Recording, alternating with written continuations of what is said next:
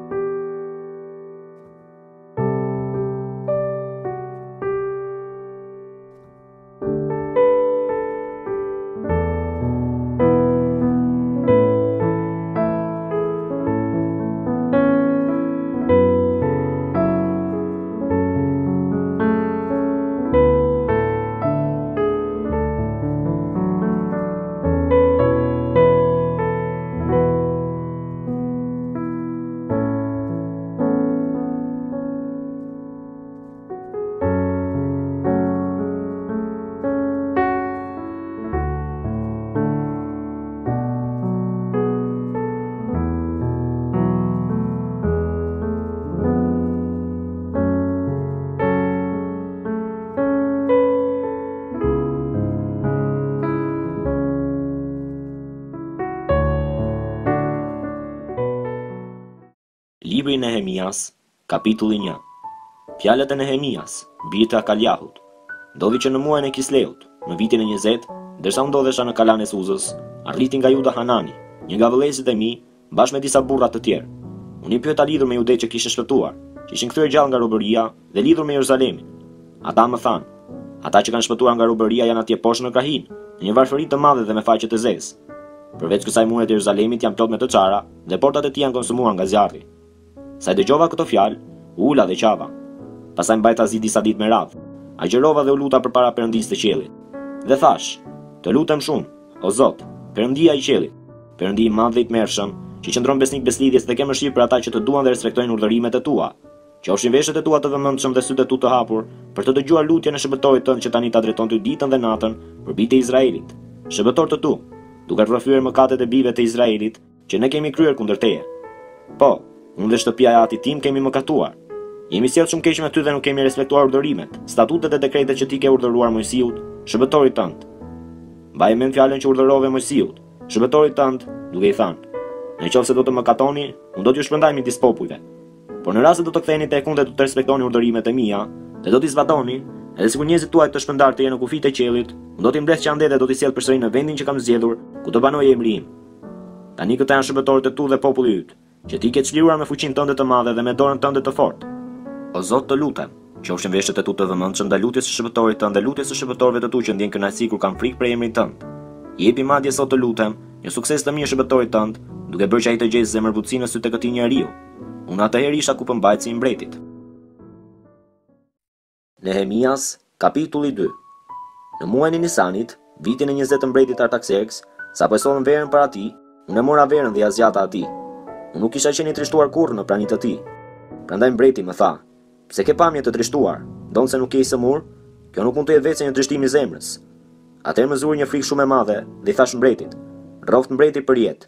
Si mund të mos jetë fytyra ime e trishtuar kur qyteti ku janë varrosur etërit e mi, është shkatërruar dhe portat e tij janë konsumuar nga zjarri? Mbreti më tha, Çfarë kërkon? Atëherë unë iu luta Perëndisë të qiellit dhe pastaj iu përgjigja mbretit, Në qoftë se kjo i pëlqen mbretit dhe shërbëtori yt ka gjetur mirëdashje në sytë e tu, më lejo të shkoj në Judë, në qytetin e varreve të etërve të mi, që ta rindërtoj atë. Mbreti më tha, Mbretëresha i rrinte e ulur në krah. Sa do të zgjasë udhëtimi dhe kur do të kthehesh? Kështu i pëlqeu mbretit të më lërë të shkoj dhe unë i tregova një afat kohe. Pastaj i thashë mbretit, Në rast se kështu i pëlqen mbretit, të më jepen letra për qeveritarët e krahinës matanë Lumit që të më japin lejen e kalimit derisa të arrij në Judë. Dhe një letër për Asafin, mbikëqyrësin e pyllit të mbretit, që të më japë lëndën e drurit për të ndërtuar portat e qytezës së bashkuar me tempullin, për muret e qytetit dhe për shtëpinë në të cilën do të shkoj të banoj. Mbreti më dha letrat, sepse dora mirëdashëse e Perëndisë tim ishte mbi mua. Arrita kështu te qeveritarët e krahinës matanë Lumit dhe u dhashë atyre letrat e mbretit. Me mua mbreti kishte dërguar një trupë përcjellëse të përbërë nga komandantë të ushtrisë dhe nga kalorës. Por kur Samballati, Horoniti dhe Tobiahu, shërbëtori amonit, e mësuan këtë gjë, U shqetësuan shumë, sepse kishte ardhur një burrë që kërkonte të mirën e bijve të Izraelit. Kështu arrita në Jeruzalem dhe qëndrova atje tri ditë. Pastaj u ngrita natën me pak burra të tjerë, por nuk i thashë gjë asnjeriut nga ato që Perëndia im më kishte vënë në zemër të bëja për Jeruzalemin. Nuk kisha me vete asnjë kafshë tjetër barre, veç asaj së cilës i kisha hipur. Dola natën nga porta e Luginës, në drejtim të burimit të Dragoit dhe të portës së Plehut, duke kontrolluar kështu muret e Jeruzalemit që ishin plot me të çara dhe portat e tij të konsumuara nga zjarri. Vazhdova pastaj me portën e burimit dhe pishinën e mbretit, por nuk ishte vend nga të kalonte kafsha mbi të cilën kisha hipur. Atëherë iu ngjita natën luginës, duke inspektuar gjithnjë muret. Më në fund u ktheva prapa, duke hyrë nga porta e luginës, dhe kështu u ktheva. Zyrtarët nuk dinin se ku kisha shkuar dhe as me se isha marrë. Deri në atë çast nuk i kisha thënë asgjë judejve, priftërinjve, parisë, zyrtarëve dhe as atyre që merreshin me punimet. Atëherë u thashë atyre, Ju e shikoni gjendjen e mjeruar në të cilën ndodhemi. Jeruzalemi është shkatërruar dhe portat e tij janë konsumuar nga zjarri. Ejani, t'i rindërtojmë muret e Jeruzalemit dhe kështu nuk do të jemi më të turpëruar. U tregova pastaj atyre si dora bamirëse e Perëndisë tim kishte qenë mbi mua si dhe fjalët që mbreti më kishte thënë. Atëherë ata thanë, Të ngrihemi dhe t'i vihemi ndërtimit, Kështu morën kurajë për t'i forcuar duart e tyre për këtë punë të rëndësishme. Por kur Sanbalati, Horoniti dhe Tobiahu, shërbëtori amonit, dhe Geshemi, arabi, e mësuan këtë gjë, filluan të tallen dhe të na përbuzin, duke thënë, Çfarë po bëni? Mos doni, vallë, të ngrini krye kundër mbretit? Atëherë unë u përgjigja dhe u thashë atyre, Do të jetë vetë Perëndia e Qiellit që do të na sigurojë suksesin. Ne, shërbëtorët e tij, do të fillojmë ndërtimin, por për ju nuk do të ketë as pjesë, as të drejtë, as kujtim në Jeruzalem. Nehemias, kapitulli tre Eliashibi, kryeprifti, u ngrit atëherë bashkë me vëllezërit e tij priftërinj dhe ndërtuan portën e deleve. E shenjtëruan dhe ia vunë kanatet. Vazhduan të ndërtonin deri në kullën e Mehaut, që pastaj e shenjtëruan, dhe deri në kullën e Hananelit. Pranë Eliashibit ndërtuan njerëzit e Jerikos dhe pranë tyre ndërtoi Zakuri, bir i Imrit. Bijtë e Senahut ndërtuan portën e peshqve, Bënë kasën dhe vunë kanatet e saj, bravat dhe shufrat. Pranë tyre punonte për riparimet, Meremothi, bir i Urias, që ishte bir i Kocit. Pranë tyre për riparimet, punonte Meshullami, bir i Berekiahut, që ishte bir i Meshezabelit. Pranë tyre punonte për riparimet Cadoku, bir i Banas. Pranë tyre për riparimet punonin Tekoitët. Por fisnikët midis tyre nuk e ulën qafën për të bërë punën e zotit të tyre. Jehojada, bir i Paseahut, dhe Meshulami, biri i Besodejahut, restauruan portën e vjetër, bënë kasën dhe vunë kanatet e saj, bravat dhe shulat. Pranë tyre punonin për riparimin e selisë së qeveritarit të krahinës matanë Lumit, Melatjahu, Gabaoniti, Jadoni, Meronifiti dhe njerëzit e Gabaonit dhe të Mitspahut. Pranë tyre punonte për riparimet Uzjeli, biri i Harhajahut, një ndër argjendarët. Pranë tij punonte për riparimet Hananjahu, një nga parfumierët. Ata e përforcuan Jeruzalemin deri në Murin e Gjerë. Pranë tyre punoi për riparimet Refajahu, biri i Hurit, kryetar i gjysmës së rrethit të Jerusalemit. Pranë tyre punonte për riparimet, përballë shtëpisë së tij, Jedajahu, biri i Harumafit. Pranë tij punonte për riparimet Hatushi, biri i Hashabnejahut. Malkijahu, biri i Harimit, dhe Hashubi, biri i Pahath-Moabit, ndreqën një pjesë tjetër të mureve dhe kullën e furrave. Pranë tij punonte për riparimet bashkë me bijat e tij, Shalumi, biri i Haloheshit, kryetar i gjysmës së rrethit të Jeruzalemit. Hanuni dhe banorët e Zanoahit ndreqën portën e Luginës. E ndërtuan dhe i vunë kanatet, bravat dhe shulat. Përveç kësaj ndreqën një mijë kubitë muri deri në portën e plehut. Malkiahu, biri i Rekabit, kryetar i rrethit të Beth Hakeremit, ndreqi portën e plehut. E ndërtoi dhe i vuri kanatet, bravat dhe shulat. Shalumi, bir i Kol-Hezeut, kryetar i rrethit të Mitspahut, ndreqi portën e burimit. E ndërtoi, e mbuloi dhe i vuri kanatet, bravat dhe shulat. Ndreqi gjithashtu murin e pishinës së Siloes, pranë kopshtit të mbretit, deri në shkallëzat që zbresin nga qyteti i Davidit. Pas tij Nehemia, bir i Azbukut, kryetar i gjysmës së rrethit të Beth-Zurit, Punoi për riparime deri përpara varreve të Davidit, deri te pishina artificiale dhe deri te shtëpia e trimave. Pas tij punuan për riparimet levitët, nën drejtimin e Rehumit, birit të Banit, pranë tij punonte për riparimet për rrethin e tij, Hashabia, kryetar i gjysmës së rrethit të Keilahut. Pas tij punuan për riparimet vëllezërit e tyre, nën mbikëqyrjen e Bavait, birit të Henadadit, kryetar i gjysmës tjetër të rrethit të Keilahut, pranë tij Ezeri, biri i Jeshuas, Kryetari i Mitspahut ndreqi një pjesë tjetër të mureve, përballë së përpjetës së Arsenalit, në Qoshe. Pas tij Baruku, biri i Zabait, riparoi me zell të madh një pjesë tjetër të mureve, nga qoshja deri te porta e shtëpisë së Eliashibit, kryepriftit. Pas tij Meremothi, biri i Urias, që ishte bir i Kocit, ndreqi një pjesë tjetër të mureve, nga porta e shtëpisë së Eliashibit deri në skajin e shtëpisë së Eliashibit. Pas tij punuan për riparimet priftërinjtë që banonin përreth. Pas tyre Benjamini dhe Hashubi punuan për riparimet përballë shtëpisë së tyre. Pas tyre Azaria, biri i Masejahut, që ishte bir i Ananjahut, punoi për riparimet afër shtëpisë së tij. Pas tij Binui, bir i Henadadit, ndreqi një pjesë tjetër të mureve, nga shtëpia e Azarias deri në kthesë, domethënë në qoshe. Palali, bir i Uzait, bëri riparime përballë kthesës dhe kullës që spikat nga shtëpia e epërme e mbretit, që ishte pranë oborrit të burgut. Pas tij bëri riparime Pedajahu, bir i Paroshit. Nethinejtë, që banonin mbi Ofelin, bënë riparime deri përpara Portës së Ujërave. në drejtim të lindjes dhe përballë kullës që spikaste. Pas tyre tekoitët riparuan një pjesë tjetër të mureve përballë kalasë së madhe që spikaste dhe deri në murin e Ofelit. Mbi portën e Kuajve, priftërinjtë punuan në riparimet, secili përballë shtëpisë së vet. Pas tyre Cadoku, biri i Imerit, punoi për riparimet përballë shtëpisë së tij. Pas tij punoi Shemajahu, biri i Shekanjahut, që ishte rojtar i portës lindore. Pas tij Ananjahu, biri i Shelemjahut, dhe Hanuni, biri i gjashtë i Calafit, riparua një pjesë tjetër të mureve. Pas tyre Meshullami, biri i Berekjahut, punoi për riparimet përballë banesës së tij. Pas tij Malkijahu, një nga argjendarët, mori pjesë në riparimet deri në shtëpitë e Nethineve dhe të tregtarëve, përballë portës së Mifkadit dhe deri në të përpjetën e qoshes. Midis së përpjetës së qoshes dhe portës së deleve, punuan për riparimet argjendarët dhe tregtarët. Nehemias, kapitulli katër Kur Samballati dëgjoi që ne po rindërtonim muret, u zemërua, u revoltua thellë dhe filloi të tallet me judejtë dhe u tha përpara vëllezërve të tij dhe ushtarëve të Samarisë, Çfarë po bëjnë këta judej matufë? Do të fortifikohen? Do të ofrojnë flijime? A do të mbarojnë brenda një dite? Mos vallë do të ringjallin gurët e konsumuar nga zjarri i togjeve të rrënojave? Tobiahu, amoniti, që i rrinte pranë, tha, Le të ndërtojnë! Por në rast se një dhelpër hipën sipër, do ta rrëzojë murin e tyre prej guri. Dëgjo, o Perëndia ynë, sepse na përçmojnë! Bëj që të bjerë mbi kokën e tyre fyerja e tyre dhe braktisi në përbuzje në një vend robërie! Mos e mbulo paudhësinë e tyre dhe mos lejo që mëkati i tyre të fshihet para teje, sepse kanë provokuar zemërimin tënd para ndërtuesve. Ne, pra, i rindërtuam muret që u bashkuan deri në gjysmën e lartësisë së tyre. Populli e kishte marrë me zemër punën. Por kur Sanballati, Tobiahu, arabët, amonitët dhe asdodejtë mësuan që riparimi i mureve të Jeruzalemit po përparonte dhe të çarat kishin filluar të mbylleshin, ata u zemëruan shumë dhe të gjithë së bashku komplotuan për të ardhur në Jeruzalem dhe për të krijuar trazira në të. Por ne iu lutëm Perëndisë tonë dhe për shkak të tyre vumë roje natë e ditë kundër tyre. Por ata të Judës thoshin, Forcat e mbartësve të peshave vijnë duke u pakësuar dhe gërmadhat janë aq të shumta, sa nuk do të arrijmë të ndërtojmë muret. Përveç kësaj, kundërshtarët tanë thoshin, Ata nuk do të dinë dhe nuk do të shohin asgjë, derisa ne do të sulemi në mes të tyre dhe do t'i vrasim. Kështu do të bëjmë që të ndërpriten punimet. Por kur judejtë që banonin pranë tyre erdhën dhjetë herë thjesht për të na thënë, Ngado që të ktheheni, Do të na sulen. Unë vendosa njerëz të armatosur në vendet më të ulëta prapa mureve. E vendosa popullin sipas familjeve, në shpatat e tyre, shtizat e tyre dhe harqet e tyre. Pasi e shqyrtova situatën u ngrita dhe u thashë Parisë, gjyqtarëve dhe pjesës tjetër të popullit, Mos kini frikë nga ata. Kujtoni Zotin e Madh dhe të Tmerrshëm dhe luftoni për vëllezërit tuaj, për bijtë dhe bijat tuaja, për bashkëshortet tuaja dhe për shtëpitë tuaja. Kur armiqtë tanë mësuan që ne ishim të informuar mbi këtë gjë dhe që Perëndia e kishte bërë të dështonte planin e tyre, Ne të gjithë u kthyem tek muret, secili në punën e vet. Qysh prej asaj dite, gjysma e shërbëtorëve të mi merrej me punën, ndërsa gjysma tjetër kishte rrokur shtizat, burojat, harqet dhe kishte veshur parzmore. Komandantët qëndronin prapa tërë shtëpisë së Judës. Por ata që ndërtonin muret dhe ata që mbartnin o ngarkonin peshat, me një dorë merreshin me punimet dhe me dorën tjetër mbanin armën e tyre. Tërë ndërtuesit, duke punuar, mbanin secili shpatën e ngjeshur në ijë, ndërsa borizani rrinte pranë meje. Atëherë unë u thashë parisë, zyrtarëve dhe pjesës tjetër të popullit, Puna është e madhe dhe e shtrirë, dhe ne jemi të shpërndarë mbi muret, larg njëri-tjetrit.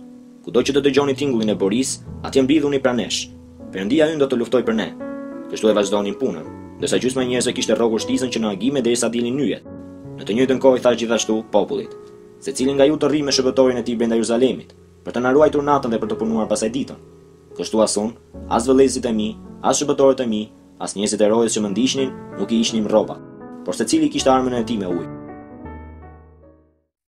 Nehemias, kapitulli pesë Ndërkaq u ngre një ankesë e madhe prej popullit dhe bashkëshorteve të tyre kundër judejve, vëllezërve të tyre. Disa thoshin, Ne, bijtë tanë dhe bijat tona jemi shumë. Prandaj të gjejmë grurë që të mund të hamë dhe të jetojmë. Të tjerë thoshin, Kemi hipotekuar arat tona, vreshtat tona dhe shtëpitë tona për të blerë grurë gjatë zisë. Disa të tjerë ende thoshin, Kemi marrë para hua për të paguar haraçin e mbretit mbi arat tona dhe vreshtat tona. Ndonëse mishi ynë është si mishi i vëllezërve tanë dhe bijtë tanë janë si bijtë e tyre, në realitet jemi të detyruar t'i kthejmë në skllevër bijtë tanë dhe bijat tona. Disa nga bijat tona janë katandisur që tani në skllavëri dhe nuk kemi asnjë mundësi t'i shpengojmë, sepse arat tona dhe vreshtat tona janë në dorë të të tjerëve.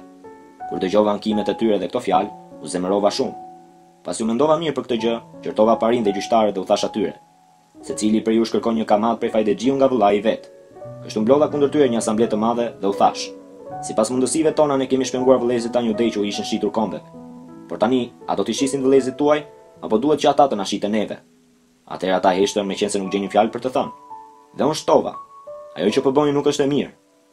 A nuk duhet përkundrazi të ecni duke pasur frikë nga Perëndia ynë për të shmangur dëmin nga kombet që i kemi armiq? Edhe unë, vëllezërit e mi dhe shërbëtorët e mi u kemi dhënë hua para dhe grurë. Ju lutem, të mos kërkojmë më kamatë për këtë. Ua ktheni që sot arat e tyre, vreshtat e tyre, ullishtat e tyre dhe shtëpitë e tyre dhe të njëqindtën pjesë të parave, të grurit, të verës dhe të vajit që u keni kërkuar. Ata u përgjigjën. Do t'i kthejmë dhe nuk do të kërkojmë asgjë prej tyre. Do të veprojmë ashtu si thua ti. Atëherë thirra priftërinjtë dhe i vura të betohen përpara tyre se do të vepronin sipas këtij premtimi. Shkunda pastaj palën e rrobave të mia dhe thashë, Kështu Perëndia ta shkundë nga shtëpia e tij dhe nga pasuria e tij cilindo që nuk do ta mbajë këtë premtim. Kështu të shkundet dhe të zbrazet ai nga të gjitha.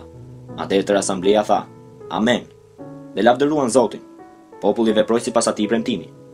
Përveç kësaj, qysh prej ditës që u caktova të jem qeveritar i tyre në vendin e Judës, nga viti njëzet deri në vitin e tridhjetë e dytë të mbretit Artakserks, gjatë dymbëdhjetë vjetëve, unë dhe vëllezërit e mi nuk hëngrëm ushqimin e caktuar nga qeveritari. Ndërsa qeveritarët e mëparshëm që më kishin paraprirë e kishin rënduar popullin duke marrë bukë dhe verë, dhe përveç kësaj dyzet sikla argjendi. Madje edhe shërbëtorët e tyre silleshin si zotër me popullin, por nuk veprova kështu. Sepse kisha frikë nga Perëndia. Përkundrazi hyra me të madhe punës së riparimit të këtyre mureve dhe nuk kemi bërë asnjë blerje toke. Përveç kësaj tërë shërbëtorët e mi u mblodhën atje për të punuar. Kisha gjithashtu, në tryezën time njëqind e pesëdhjetë judej dhe zyrtarë, përveç atyre që vinin nga kombet fqinje. Çdo ditë përgatitej një ka dhe gjashtë krerë të zgjedhur që merreshin nga kopeja. Për mua gatuheshin edhe zogj dhe çdo dhjetë ditë bëhej furnizimi me lloj-lloj vere me shumicë. Por megjithë këtë, nuk e kam kërkuar kurrë kuotën e qeveritarit. Sepse mbi këtë popull rëndonte tashmë shërbimi. Më kujto, o Perëndia im, për tërë të mirat që i kam bërë këtij populli. Nehemias, kapitulli gjashtë Kur Sanballati, Tobiau dhe Geshem arabi dhe armiqtë tanë të tjerë mësuan që unë kisha rindërtuar muret dhe që nuk kishte mbetur asnjë e çarë në to, megjithëse atëherë nuk i kisha vënë ende kanatet e portave, Sanballati dhe Geshemi më dërguan fjalë, Eja dhe takohemi bashkë në një nga fshatrat e Luginës së Onos. Por ata mendonin të ma punonin. Kështu unë u dërgova atyre lajmëtarë për t'u thënë, Jam duke bërë një punë të madhe dhe nuk mund të zbres. Pse duhet ta ndërpresim punën, kur unë po e lë për të zbritur tek ju? Plot katër herë ata më çuan njerëz për të thënë të njëjtën gjë, dhe unë iu përgjigja në të njëjtën mënyrë. Atëherë Sanballati më dërgoi shërbëtorin e tij që të më thoshte po atë gjë për të pesën herë me një letër të hapur në dorë, në të cilën ishte shkruar, Është përhapur fjala midis kombeve. Dhe Gashmu e pohon këtë, që ti dhe Judejtë po kurdisni një rebelim. Prandaj, sipas këtyre zërave, ti po rindërton muret për t'u bërë mbreti i tyre. Dhe madje ke caktuar profetë për të bërë shpalljen tënde në Jeruzalem, duke thënë, Ka një mbret në Judë. Tani, këto gjëra do t'u njoftohen mbretit. Prandaj eja dhe të këshillohemi bashkë. Por unë i çova për të thënë, Punët nuk janë ashtu si thua ti.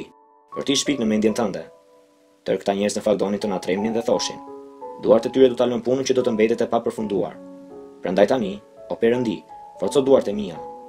Atëherë unë shkova në shtëpinë e Shemajahut, birit të Delajahut, që ishte biri i Mehatabelit, që ishte mbyllur aty brenda.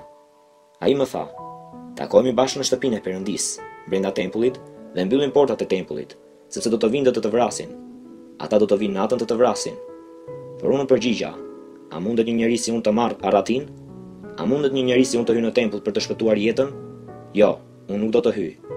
Kuptova pastaj që Perëndia nuk e kishte dërguar, por kishte shqiptuar atë profeci kundër meje, sepse Tobiau dhe Sanballati e kishin paguar.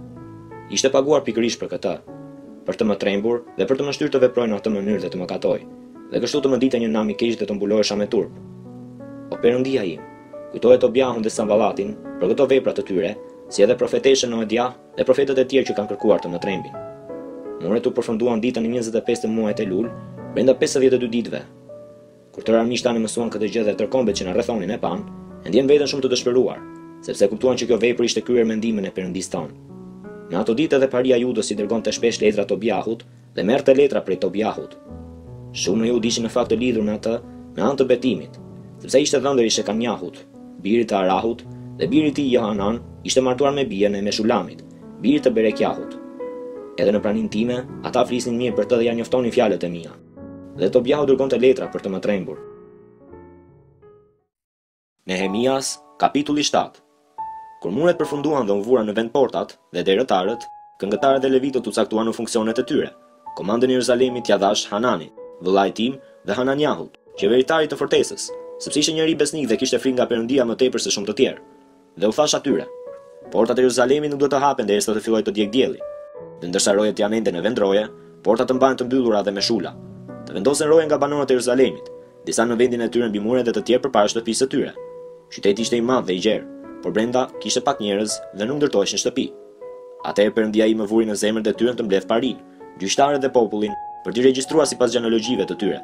Dhe gjeta regjistrin gjenalogjik të atyre që ishin kthyer nga mërgimi herën e parë, Dhe në të gjeta të shkruar, Këta janë ata të krahinës që u kthyen nga robëria, ata që Nebukadnesari, mbreti i Babilonisë, kishte internuar dhe që ishin kthyer në Jeruzalem dhe në Judë, secili në qytetin e tij.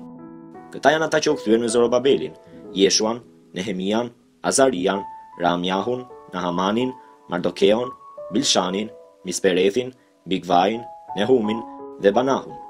Numri i njerëzve të popullit të Izraelit, bijtë e Paroshit, dy mijë e njëqind e shtatëdhjetë e dy veta, bijtë e Shefatjahut, treqind e shtatëdhjetë e dy veta, bijtë e Arahut, gjashtëqind e pesëdhjetë e dy veta, bijtë e Pahath-moabit, bijtë e Jeshuas dhe të Joabit, dy mijë e tetëqind e tetëmbëdhjetë veta, bijtë e Elamit,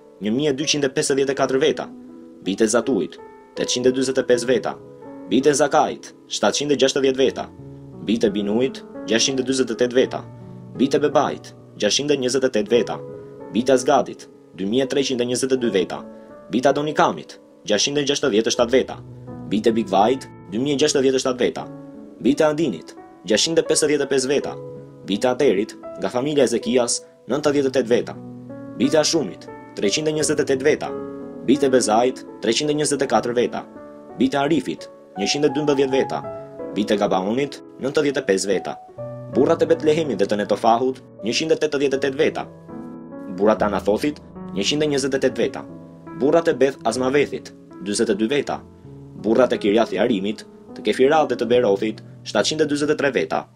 Burrat e Ramah dhe të Gebës, gjashtëqind e njëzet e një veta. Burrat e Mikmasit, njëqind e njëzet e dy veta. Burrat e Bethelit dhe të Ajit, njëqind e njëzet e tre veta. Burrat e një Nebos tjetër, pesëdhjetë e dy veta. Bijtë e një Elami tjetër, një mijë e dyqind e pesëdhjetë e katër veta. Bijtë e Harimit, treqind e njëzet veta. Bijtë e Jerikos, treqind e dyzet e pesë veta.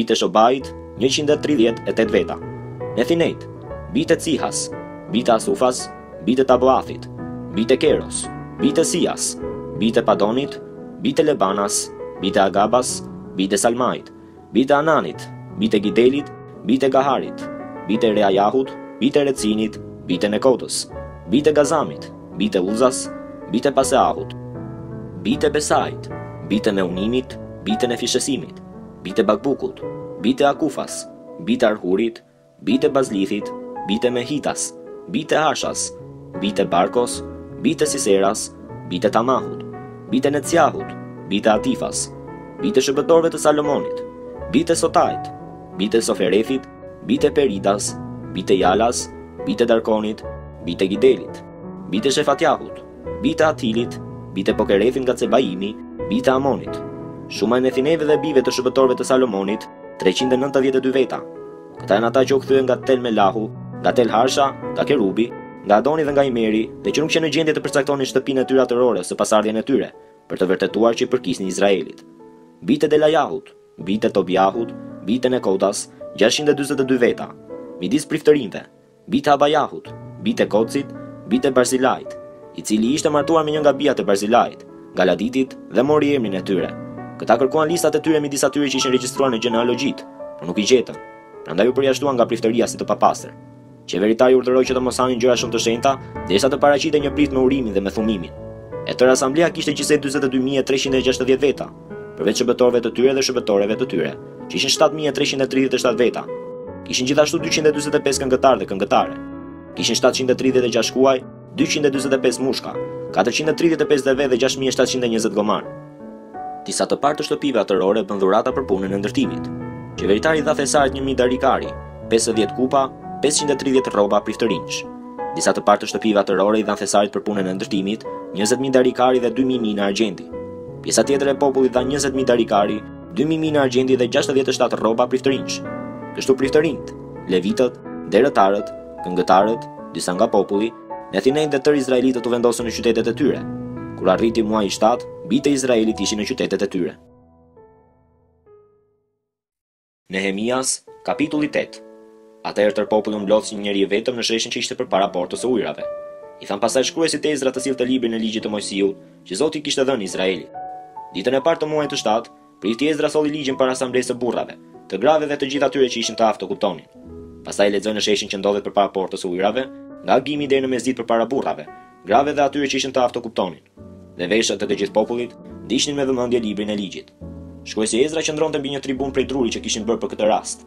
Pranë tij ishin në të djathtë Matithjahu, Shema, Ananjahu, Uria, Hilkiahu dhe Masejahu, në të majtë Pedajahu, Mishaeli, Malkijahu, Hashumi, Hashbadana, Zakaria dhe Meshulami. Ezra e hapi librin në prani të të gjithë popullit, sepse rrinte më lart se tërë populli. Sa e hapi, tërë populli u ngrit më këmbë. Ezra bekoi Zotin, Perëndinë e Madh, dhe tërë populli u përgjigj, Amen! Amen! duke ngritur duart. Pastaj u përkulën dhe ranë përmbys me fytyrë përtokë përpara Zotit.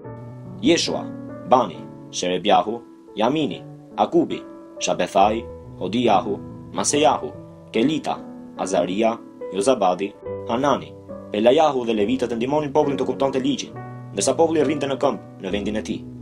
Ata lexonin në librin e Ligjit të Perëndisë në mënyrë të qartë, duke shpjeguar domethënien e tij, me qëllim që të kuptonin atë që lexohej. Nehemia, që ishte qeveritari, Ezdra, prift dhe shkrues, dhe levitët që e mësonin popullin i thanë tërë popullit, Kjo ditë i shenjtërohet Zotit, Perëndisë tuaj. Mbons mbani zi dhe mos qani. Tërë populli në fakt, duke dëgjuar fjalët e ligjit, qante. Pastaj Nehemia u tha atyre, Shkoni, hani, ushqime shumë të shijshme dhe pini verëra të ëmbla, dhe u çoni racione atyre që nuk kanë përgatitur asgjë, sepse kjo ditë i është shenjtëruar Zotit tonë. Mos u trishtoni, sepse gëzimi i Zotit është fuqia juaj. Levitët e mbanin në heshtje tërë popullin, duke thënë, Heshtni, sepse kjo ditë është e shenjtë. Mos u trishtoni. Atëherë tërë populli shkoi të hajë, të pijë, t'u dërgojë racione të varfërve dhe të kremtojë me hare të madhe, sepse ata i kishin kuptuar fjalët që u ishin shpjeguar. Ditën e dytë, krerët e shtëpive atërore të gjithë popullit, priftërinjtë dhe levitët u mblodhën pranë Ezdras, shkruesit, për të dëgjuar fjalët e ligjit.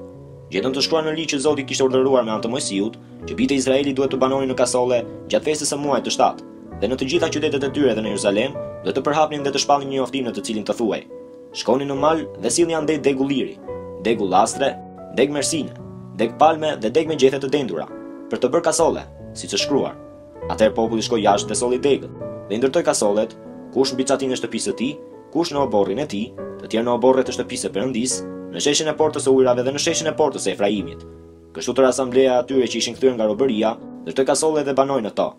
Nga koha e Jozueut, birit të Nunit, e deri në atë ditë, bijtë e Izraelit nuk kishin bërë asgjë të tillë, dhe qe një gëzim shumë i madh. Ezdra lexoi librin e ligjit të Perëndisë çdo ditë, nga dita e parë deri në ditën e fundit. E kremtuan festën shtatë ditë. Ditën e tetë pati një asamble solemne, siç e kërkon ligji. Nehemia, kapitulli nëntë Ditën e njëzet e katër të po atij muaji, bijtë e Izraelit të veshur me thasë dhe të mbuluar me dhe, u mblodhën për një agjërim. Ata që i përkisin fisit të Izraelit u ndanë nga gjithë të huajt dhe u paraqitën për të rrëfyer mëkatet e tyre dhe paudhësitë e etërve të tyre. Pastaj u ngritën në këmbë në vendin e tyre dhe lexuan librin e ligjit të Zotit, Perëndisë të tyre, Për një të katërtën pjesë të ditës, dhe për një të katërt tjetër të ditës, bënë rrëfimin e mëkateve që kishin bërë dhe ranë përmbys përpara Zotit, Perëndisë së tyre. Pastaj Jeshua, Bani, Kadmieli, Shebanjahu, Buni, Sherebjahu, Bani dhe Kenani u ngjitën mbi tribunën e levitëve dhe i klithën me zë të lartë Zotit. Perëndisë të tyre. Levitët Jeshua, Kadmiel, Bani, Hashabnejahu, Sherebjahu, Hodijahu, Shebanjahu dhe Pethajahu thanë, Çohuni dhe bekoni Zotin, Perëndinë tuaj, nga përjetësia në përjetësi. Qoftë i bekuar emri yt i lavdishëm, që lartësohet mbi çdo bekim dhe lëvdim. Vetëm ti je Zoti. Ti ke bërë qiejt, qiejt e qiejve dhe tërë ushtrinë e tyre, dheun dhe tërë ato që qëndron mbi të, detet dhe gjithçka që është me ta. Ti i mban gjallë tërë këto gjëra dhe ushtria e qiejve të adhuron. Ti je Zoti, Perëndia që ka zgjedhur Abramin. E nxore nga Uri i Kaldeasve dhe i dhe emrin Abraham. Ti e gjete zemrën e tij besnike para teje dhe bëre një besëlidhje me të për t'u dhënë pasardhësve të tij vendin e kananejve, të hitejve, të amorejve, të perezejve, të jebusejve dhe të girgasejve. Ti e mbajte fjalën tënde. Sepse je i drejtë. Ti ke parë hidhërimin e etërve tanë në Egjipt dhe ke dëgjuar britmën e tyre pranë Detit të Kuq. Ke bërë mrekulli dhe çudi kundër faraonit, kundër tërë shërbëtorëve të tij dhe kundër tërë popullit të vendit të tij, sepse e dije që ata ishin sjellë me paturpësi me etërit tanë. Kështu i bëre një emër vetes, që mbetet edhe sot. Ti ke ndarë detin para tyre, dhe ata kaluan në mes të detit në të thatë, Ndërsa ti hidhje në humnerë ndjekësit e tyre si një gur në ujëra të furishme. Ti ke udhëhequr ditën me një kollonë reje dhe natën me një kollonë zjarri për t'i ndriçuar rrugën në të cilën do të ecnin. Zbrite gjithashtu mbi malin Sinai, u fole nga qielli dhe u dhe dekrete të drejta dhe ligje të së vërtetës, statute dhe urdhërime të mira. U bëre të njohur shabatin tënd të shenjtë dhe u dhe urdhërime, statute dhe një ligj me anë të Mojsiut, shërbëtorit tënd. Ti, gjithashtu, u dhe bukë nga qielli kur ishin të uritur dhe u bëre që të buronte ujë nga shkëmbi kur kishin etje. dhe urdhërove ata të shkonin të merrnin në zotërim vendin që ishe betuar t'u jepje. Por ata dhe etërit tanë u sollën me mendjemadhësi, e fortësuan zverkun e tyre dhe nuk iu bindën urdhërimeve të tua, kundërshtuan të bindeshin dhe nuk kujtuan mrekullitë që ti kishe bërë midis tyre. Ngurtësuan përkundrazi zverkun e tyre dhe në rebelimin e tyre zgjodhën një kryetar për t'u kthyer në skllavërinë e tyre. Por ti je një Perëndi i gatshëm që të falë, shpirtmadh, plot mëshirë, i ngadalshëm në zemërim dhe plot mirësi. Ti nuk i ke braktisur, as atëherë kur bënë një viç prej metalit të shkrirë dhe thanë, Ky është Perëndia yt që të nxori nga Egjipti. Kështu bënë një gjë blasfeme. Megjithatë në shpirtmadhësinë tënde të madhe nuk i ke braktisur në shkretëtirë. Kollona e resë nuk u largua prej tyre gjatë ditës për t'i udhëhequr ata në ecje, dhe kollona e zjarrit gjatë natës për t'ua ndriçuar atyre rrugën nëpër të cilën do të ecnin. Ke dhënë frymën tënde të mirë për t'i mësuar. Nuk ua ke refuzuar manën tënde gojëve të tyre dhe u ke dhënë ujë kur ishin të etur. Për dyzet vjet i ke ushqyer në shkretëtirë dhe nuk u ka munguar asgjë. Rrobat e tyre nuk u prishën dhe këmbët e tyre nuk u ënjtën. U dhe gjithashtu, mbretëri dhe popuj, duke u caktuar krahinat më të largëta. Kështu ata shtinë në dorë vendin e Sihonit, vendin e mbretit të Heshbonit dhe vendin e Ogut, mbretit të Bashanit. I shumëzove bijtë e tyre si yjet e qiellit dhe i fute në vendin në të cilin u kishe thënë etërve të tyre të hynin për ta shtënë në dorë. Kështu bijtë e tyre hynë dhe zotëruan vendin. Ti ke poshtëruar para tyre banorët e vendit, kananejtë, dhe i dhe në duart e tyre bashkë me mbretërit e tyre dhe me popujt e vendit, me qëllim që ata të bënin çfarë t'u pëlqente. Ata pushtuan qytete të fortifikuara dhe një tokë pjellore dhe hynë në zotërim të shtëpive plot me të mira, të sternave të gatshme, të vreshtave, të ullishteve dhe të pemëve frutore me bollëk. Ata hëngrën, u ngopën, u majmën dhe jetuan në gëzim për shkak të mirësisë sate të madhe. Megjithatë ata u treguan të pabindur, u rebeluan kundër Teje, e hodhën ligjin Tënd prapa krahëve, vranë profetët e Tu që u bënin thirrje të riktheheshin te Ti, dhe kryenë gjëra blasfeme. Prandaj Ti i dhe në duart e armiqve të tyre që i shtypën. Por në kohën e fatkeqësisë së tyre ata klithën te Ti, dhe Ti i dëgjove nga qielli, dhe Ti, me dhembshurinë Tënde të madhe, u dhe atyre disa çlirimtarë që i shpëtuan nga duart e armiqve të tyre. Por kur ata kishin paqe, fillonin përsëri të bënin të keqen përpara Teje. Prandaj ti i braktise në duart e armiqve të tyre, që i sundonin. Megjithatë, kur përsëri klithnin, ti i dëgjoje nga qielli, kështu që në shpirtmadhësinë tënde i ke çliruar shumë herë. Ti i nxisje të ktheheshin në ligjin tënd, por ata bëheshin krenarë dhe nuk u bindeshin urdhërimeve të tua dhe mëkatonin kundër dekreteve të tua me anën e të cilave, në qoftë se dikush i zbaton, shpëton jetën. Hiqnin shpatullat e tyre nga zgjedha, e fortësonin zverkun e tyre dhe kundërshtonin të bindeshin. Pate durim me ta shumë vjet me radhë, duke i nxitur me frymën tënde dhe me gojën e profetëve të tu, por ata nuk deshën të të dëgjojnë. Atëherë ti i dhe në duar të popujve të vendeve të ndryshme. Por në mëshirën tënde të madhe nuk i shkatërrove plotësisht dhe nuk i braktise, sepse je Perëndi zemërbutë dhe i mëshirshëm. Tani pra, o Perëndia ynë, Perëndia i madh, i fuqishëm dhe i tmerrshëm, që respekton besëlidhjen dhe mëshirën, të mos të duket para teje si gjë e vogël fatkeqësia që ka rënë mbi ne, mbi mbretërit tanë, mbi krerët tanë, mbi priftërinjtë tanë, mbi profetët tanë, mbi prindërit tanë dhe mbi tërë popullin tënd, nga koha e mbretërve të Asirisë deri në ditën e sotme. Megjithatë ti ke qenë i drejtë në të gjitha gjërat që na kanë ndodhur, sepse ti ke vepruar me besnikëri, ndërsa ne kemi vepruar me pabesi. Mbretërit tanë, krerët tanë, priftërinjtë tanë dhe etërit tanë nuk kanë zbatuar ligjin tënd, Dhe as që u janë bindur urdhërimeve dhe porosive me të cilat i nxitje. Edhe kur të gjendeshin në mbretërinë e tyre, në mirëqenien e madhe që ti u kishe siguruar atyre, dhe në vendin e gjerë dhe pjellor që ti u kishe dhënë përpara, nuk të shërbyen dhe nuk i braktisën veprimet e tyre të këqija. Dhe ja, sot jemi skllevër. Jemi skllevër në vendin që u kishe dhënë etërve tanë, që të hanin frytet e tij dhe të gëzonin të mirat. Kështu prodhimet e bollshme të Tij u shkojnë mbretërve që Ti ke vendosur mbi ne për shkak të mëkateve tona. Ata sundojnë mbi trupat tanë dhe mbi bagëtinë tonë ashtu si duan. Dhe ne ndodhemi në ankth të madh. Për shkak të gjithë kësaj, ne marrim një zotim të vendosur dhe e vëmë me të shkruar. Dhe krerët tanë, levitët tanë dhe priftërinjtë tanë do të vënë vulën e tyre mbi të.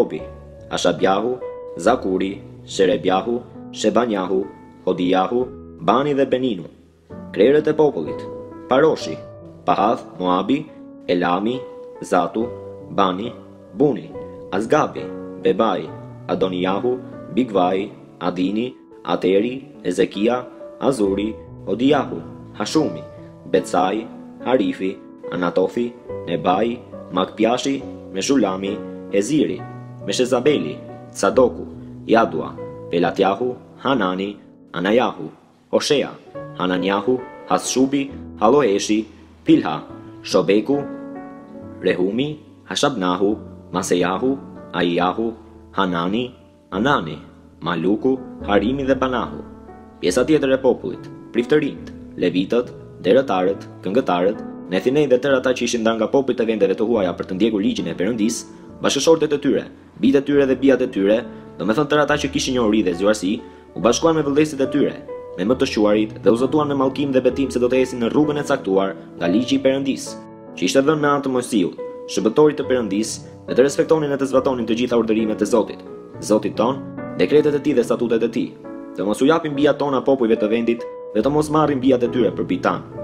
Të mos blejmë asgjë ditën e Shabatit ose në një ditë tjetër të shenjtë, Nga popujt që çojnë për të shitur ditën e Shabatit çfarëdo lloj mallrash dhe drithërash, ta lëmë tokën të pushojë çdo vit të shtatë dhe të mos vjelim asnjë borxh. U zotuam po ashtu të paguajmë çdo vit një të tretën e një sikli për shërbimin e shtëpisë së Perëndisë tonë, për bukët e paraqitjes, për blatimin e përjetshëm të ushqimit, për olokaustin e përjetshëm të ditëve të Shabatit, të ditëve të Hënës së Re, të festave të caktuara, për gjërat e shenjtëruara, për ofertat e bëra për mëkatin, për shlyerjen e fajit të Izraelit dhe për çdo punë të kryer në shtëpinë e Perëndisë tonë. Përveç kësaj hodhëm short midis priftërinjve, Levitëve dhe popullit për ofertën e truve që duhet të çohen në shtëpinë e Perëndisë tonë, çdo vit në kohë të caktuara, sipas shtëpive tona atërore, me qëllim që të digjen në altarin e Zotit, Perëndisë tonë, ashtu siç është shkruar në ligj. U zotuam gjithashtu të çojmë çdo vit në shtëpinë e Zotit prodhimet e para të tokës sonë dhe frytet e para të çdo peme, dhe të paralindurit e bijve tanë dhe të bagëtisë sonë, ashtu siç është shkruar në ligj, dhe me të pjelljen e parë të bagëtive tona të trasha dhe të imta, për t'ua paraqitur në shtëpinë e Perëndisë tonë, priftërinjve që kryen shërbim në shtëpinë e Perëndisë tonë. Përveç kësaj u zotuam t'u çojmë priftërinjve në dhomat e shtëpisë së Perëndisë tonë, prodhimet e para të brumit tonë, ofertat tona, frutat e çdo peme, mushtin dhe vajin, dhe levitëve të dhjetën e tokës sonë. Vetë levitët do të marrin të dhjetën pjesë në të gjitha qytetet ku ne punojmë. Një prift, pasardhës i Aronit do të jetë me levitët kur ata do të marrin të dhjetat, dhe levitët do ta çojnë të dhjetën e së dhjetës në shtëpinë e Perëndisë tonë, në dhomat e thesarit. Sepse në këto dhoma bijtë e Izraelit dhe bijtë e Levit do të sjellin ofertat e grurit, të mushtit dhe të vajit. Këtu janë veglat e shenjtërores, priftërinjtë që kryen shërbimin, derëtarët dhe këngëtarët. Ne nuk do ta braktisim shtëpinë e Perëndisë tonë. Nehemias, kapitulli njëmbëdhjetë Krerët e popullit u vendosën në Jeruzalem. Pjesa tjetër e popullit hodhi me short që një në çdo dhjetë veta të vinte të banonte në Jeruzalem, në qytetin e shenjtë. Nëntë të dhjetat e tjera duhet të qëndronin përkundrazi në qytetet e tjera. Populli bekoi tërë ata që spontanisht u ofruan të banojnë në Jeruzalem.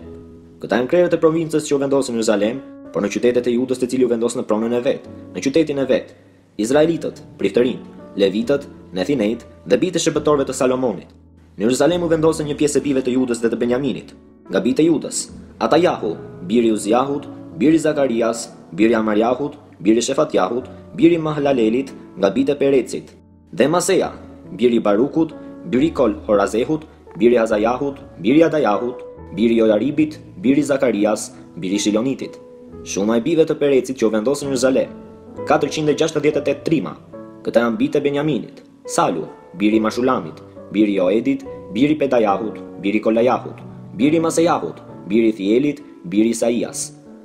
Pas tij, Gabai dhe Sallai, gjithsej, nëntëqind e njëzet e tetë, Joeli, bir i Zikrit, ishte i pari i tyre dhe Juda, bir i Senuahut, ishte shefi i dytë i qytetit. Nga priftërinjtë, Jedajahu, bir i Jojaribit dhe Jakini, Serejahu, bir i Hilkiahut, bir i Meshullamit, bir i Cadokut, bir i Merajothit, bir i Ahitubit, ishte i pari i shtëpisë së Perëndisë, Vëllezërit e tyre të caktuar me punë në tempull ishin tetëqind e njëzet e dy veta. Dhe Adajahu, biri i Jerohamit, biri i Pelajahut, biri i Amcit, biri i Zakarias, biri i Pashhurit, biri i Malkijahut, dhe vëllezërit e tij, të parë të shtëpive atërore, ishin gjithsej dyqind e dyzet e dy veta,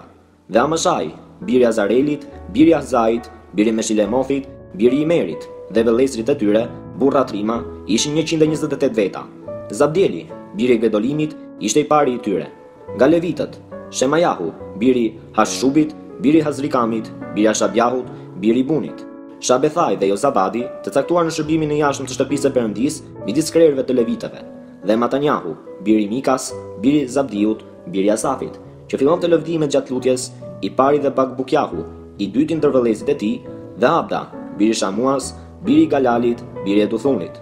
Shuma e levitëve në qytetin e shenjtë, dyqind e tetëdhjetë e katër veta, derëtarët, Akubi, Talmoni dhe vëllezërit e tyre, rojtarë të portave, njëqind e shtatëdhjetë e dy veta. Pjesa tjetër e Izraelit, e priftërinjve dhe levitëve u vendosën në të gjitha qytetet e Judës, secili në pronën e vet. Nethinejtë u vendosën mbi Ofelin. Cia dhe Gishpa ishin në krye të Nethinejve. Kryetari i Levitëve në Jeruzalem ishte Uzi, bir i Banit, bir i Hashabjahut, bir i Matanjahut, bir i Mikas, nga bijtë e Asafit, që ishin këngëtarët e caktuar për shërbimin e shtëpisë së Perëndisë. Për sa u përket atyre, në fakt mbreti kishte dhënë urdhër që çdo ditë t'u jepej këngëtarëve një furnizim i caktuar. Pethajahu, biri i Meshezabelit, nga bijtë e Zerahut, birit të Judës, Ishte i deleguari i mbretit për të gjitha punët e popullit.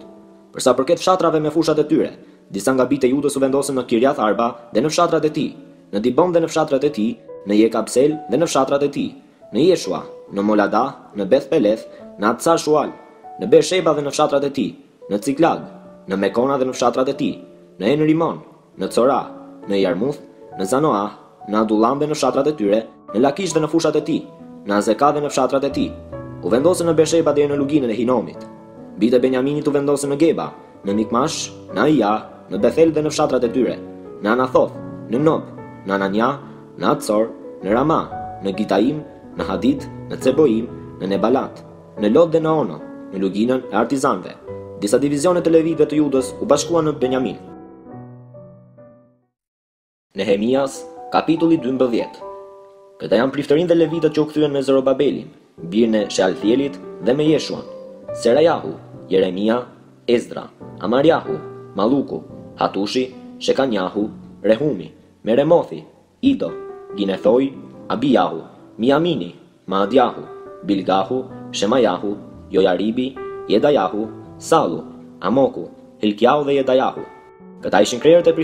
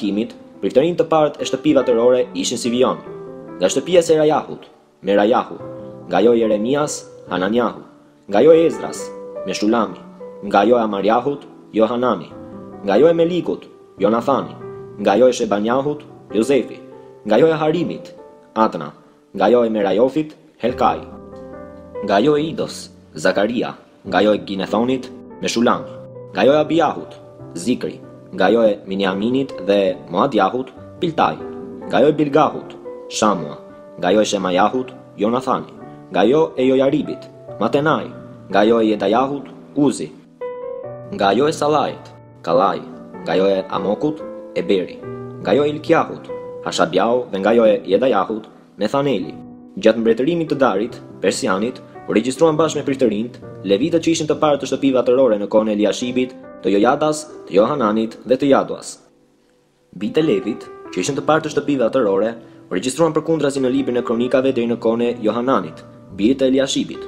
Krerët e levitëve, Hashabjahu, Sherebjahu dhe Jeshua, biri i Kadmielit, bashkë me vëllezërit e tyre, që rrinin përballë tyre, këndonin himne lavdimi dhe falënderimi me grupe të alternuara, sipas urdhrit të Davidit, njeriut të Perëndisë. Matanjahu, Bakbukjahu, Obadjahu, Meshulami, Talmoni dhe Akubi ishin derëtarë dhe ruanin magazinat e portave. Këta jetonin në kohën e Jojakimit, birit të Jeshuas, bir i Jotsadakut, dhe në kohën e Nehemias, qeveritarit, dhe të Ezdras, që ishte prift dhe shkrues.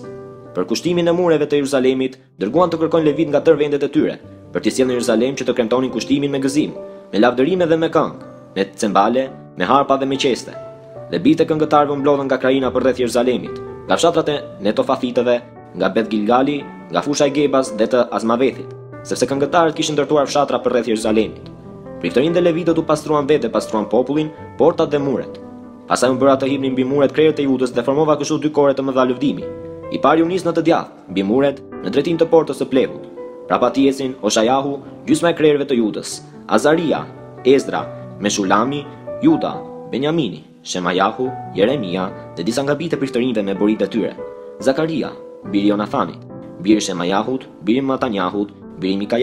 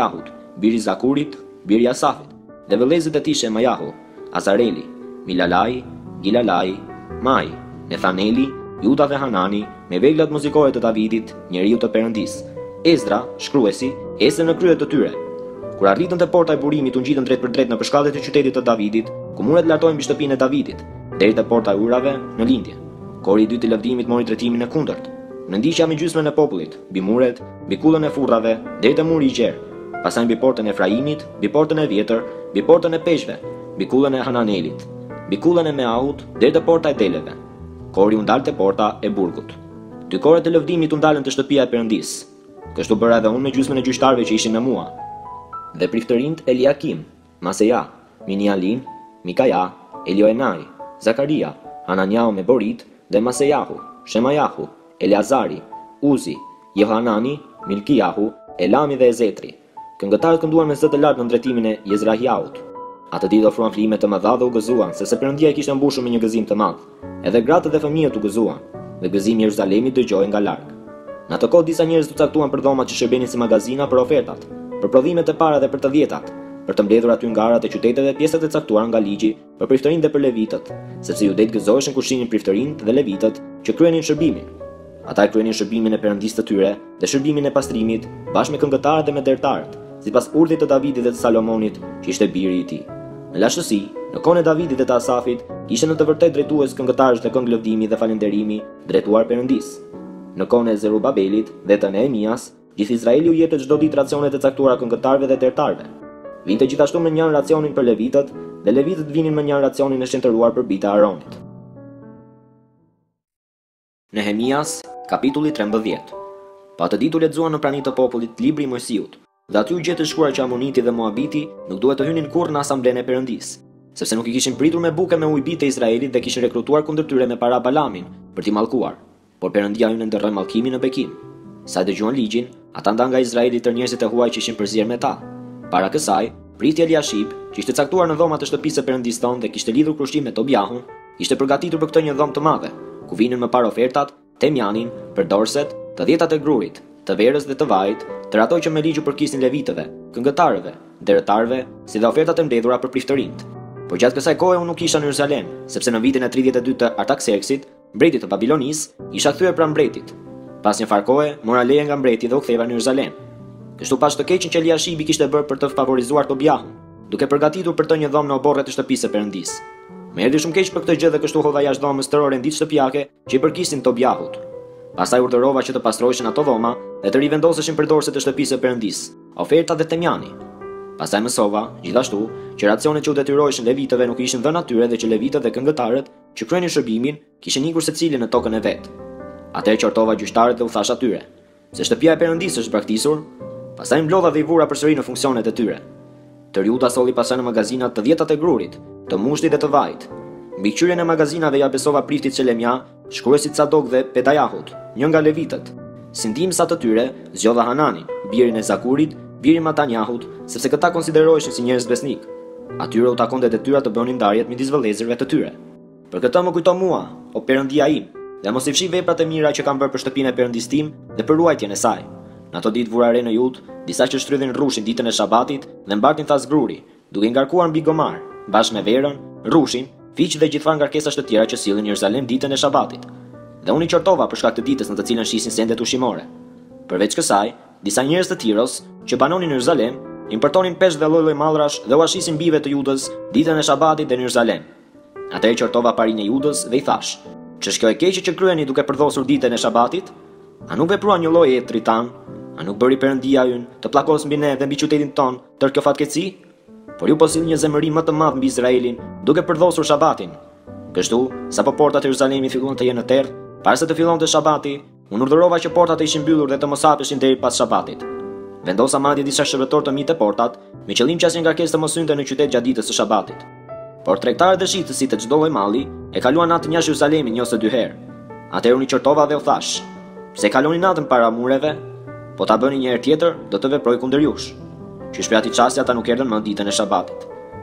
Urdhërova gjithashtu levitët që të pastroheshin dhe të vinin të ruanin portat për të shenjtëruar ditën e Shabatit. Edhe për këtë më kujto mua, o Perëndia im, dhe ki mëshirë për mua sipas madhësisë së dhembshurisë sate. Në ato ditë pashë, gjithashtu, disa judej që ishin martuar me gra të Ashdodit, të Amonit dhe të Moabit, gjysma e bijve të tyre fliste gjuhën e Ashdodit dhe nuk dinte të fliste gjuhën judaike, por fliste vetëm gjuhën e këtij apo atij populli. Atëherë unë i qortova, i mallkova, rraha disa prej tyre, U shkula flokët. Pastaj vura që të betohen në emër të Perëndisë se nuk do t'ia jepnin bijat e veta bijve të tyre dhe nuk do të merrnin bijat e tyre për bijtë e vet, as për vete. Dhe thashë, A nuk mëkatoi vallë Salomoni, mbreti i Izraelit, për këto gjëra? Megjithatë midis kaq kombeve nuk pati një mbret si ai. E donte Perëndia e tij, dhe Perëndia e kishte vendosur mbret mbi tërë Izraelin. Por gratë e huaja e bënë edhe atë të mëkatojë. A duhet, pra, të dëgjojmë për ju se kryeni këtë të keqe të madhe, Se mëkatoni kundër Perëndisë tonë, duke u martuar me gra të huaja? Njëri nga bijtë e Joadas, bir i Eliashibit, kryepriftit, ishte dhëndër i Samballatit, Horonitit. Unë e përzura larg vetes. Mbaji mend ata, o Perëndia im, sepse kanë ndotur priftërinë dhe besëlidhjen e priftërisë dhe të levitëve. Kështu unë i pastrova nga çdo i huaj dhe caktova detyrat e priftërinjve dhe të levitëve, secilin në detyrën e vet. Dhashë gjithashtu dispozita lidhur me ofertën e druve në kohë të caktuara dhe lidhur me prodhimet e para. Më kujto, o Perëndia im, për të më bërë të mirë.